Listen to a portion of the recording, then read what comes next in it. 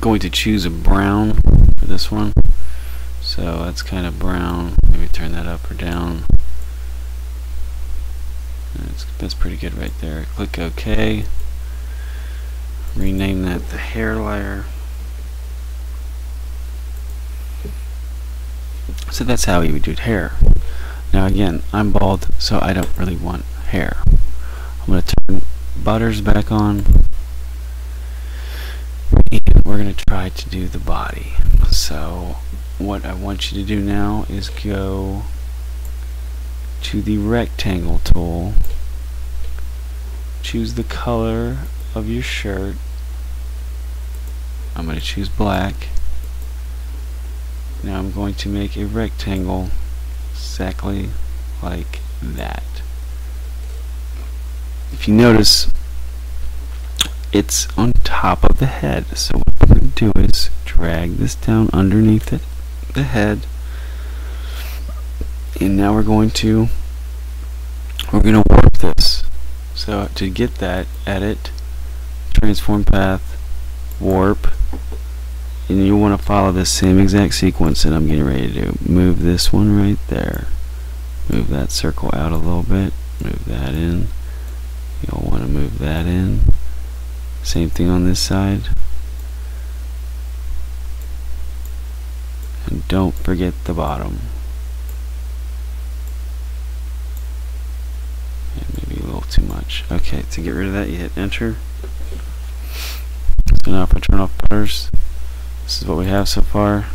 We're not going to really mess with this anymore, so let's rasterize it. Right click, rasterize layer.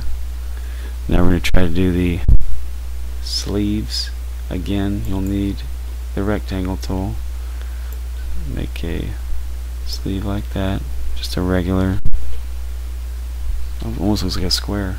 Edit, free transform path. You're going to want to rotate this.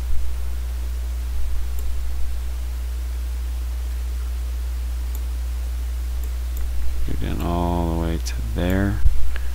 Now I'm going to want to warp it, edit, transform path, warp. Whoops, too much. Here we go. Move that up. Kind of move that down. Don't worry about the. Do not worry about the uh, the hand. We'll do the hand next. Okay, so that, that's pretty close. Go ahead and hit enter. Rasterize that.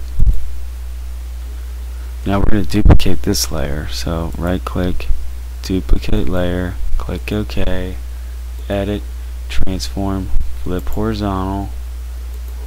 Use the move tool, hold down the shift key, move it over. It's close enough. Now we're going to merge all three of these. So I'm going to hold down the shift key. They're all selected. Right click, merge layers. Call this shirt. Now if I turn off butters, there he is right there. Now let's do the hands. So I'm going to turn off the shirt. I'm going to turn off the shirt for now. Go back to the ellipse tool. Go up here to fill. Get the color you need. Click OK. I'm going to make a circle just like that one. Perfect. Let's go ahead and rasterize it. Now we're going to make, I'm to zoom in. Notice how pixelated it is. This, what we're doing is very crisp. So get the uh, uh, ellipse tool again.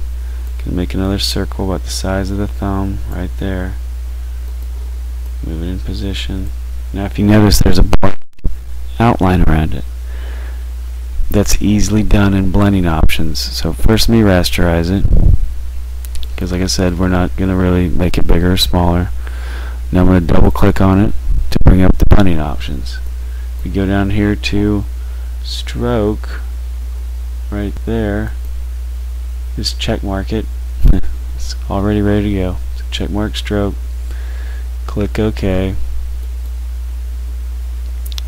Now you want to merge ellipse 2 with ellipse 1. So hold down control, right click, merge layers.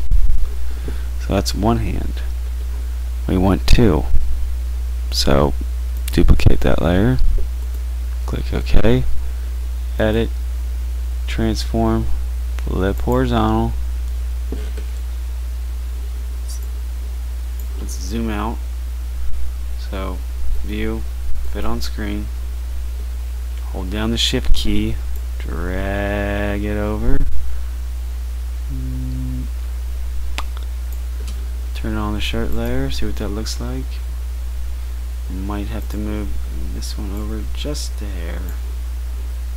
So there is your hands. We're going to merge those two layers.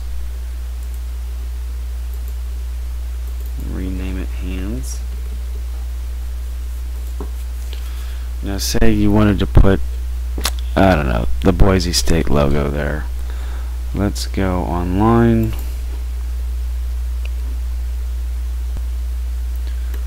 Go to Google. Type in Boise State logo. Okay, I want, let's use this one. So open it. I'm just going to right click and copy image. Go back to Photoshop, edit, paste.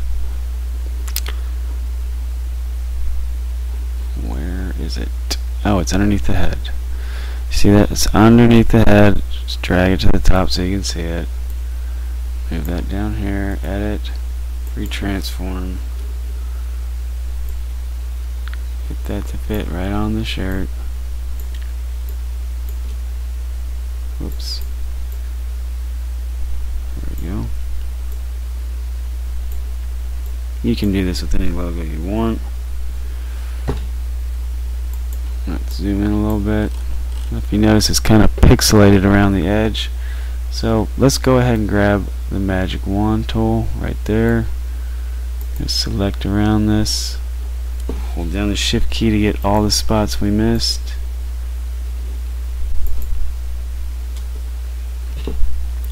Now a neat little thing in the selection tool is you can go to select modify you can expand that we're, we're going to expand it by about two hit backspace. Select. Deselect. A little cleaner. View. Fit on screen. So he's got his he's rocking his Boise State shirt. Now we're going to make the pants. So go back to the rectangle tool choose the color of your pants. I'm going to choose, let's choose this blue right here. It's the same blue in Boise State. Click OK. Now just make your pants right like that. Now if you notice, it's on the very top. Let's rasterize this. Call it I'm going to drag this all the way down to the bottom, right ahead of layer 1. Now, let's zoom in a little bit. And we got a little overlap here, so edit, free transform. Hit enter to apply that. View, fit on screen so we can see what we're doing. I'll turn the pants off for, for just a second. We're going to try the shoes uh, go back to the ellipse tool. We need the ellipse tool. If you want black shoes that's fine. I'm actually going to be really gaudy and select this orange shoe. First I gotta go up here. See if I can drop that color. Yep got it. Okay now I'm going to make an ellipse almost like that Move that up. Now, I don't want this bottom I can't cut this right now because it's not rasterized. It's still in its original shape. But once I rasterize it, I can change it. So what I'm going to do is I'm going to go up here, rectangular marquee tool. I'm going to cut this right in half. And hit backspace. Select, deselect. Now I'm going to duplicate this layer. This is the other shoe. Move it over. merge those two layers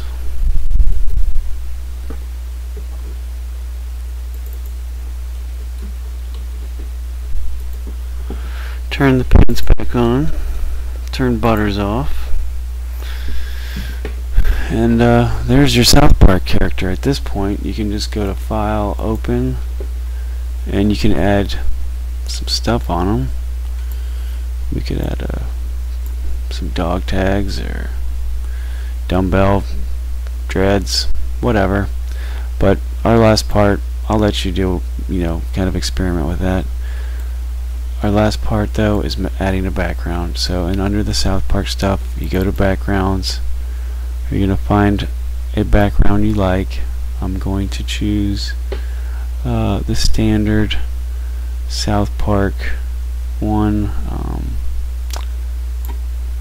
this one open all you have to do is look drag that down move it in close this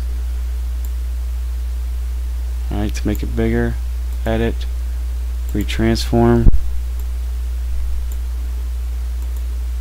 now if you notice we cut off his legs that's an easy fix just drag it down here right below the pants and shoes and there is your South Park layer or your South Park person. So now you just go to File, Open, and uh, you can add other stuff in there and other accessories. So, uh, wish I had a. Where's the football? Do I have a football? Of course not. Oh, there we go. Open up the football. Drag that in. This will probably be uh, your top layer. Hold the football. Edit transform smaller. Rotate it. Because when people think of Boise State they think of educational technology. I mean football I'm going to drag this down just a little bit underneath the hands so it's behind the hands. So there's your South Park character and uh, you'll need to save this to your folder make sure you labeled all your stuff background football file save as make sure you save it in your folder and then type in your name South Park. Click OK. And that's a wrap